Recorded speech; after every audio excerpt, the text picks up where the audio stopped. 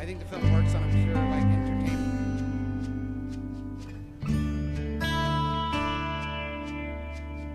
thank you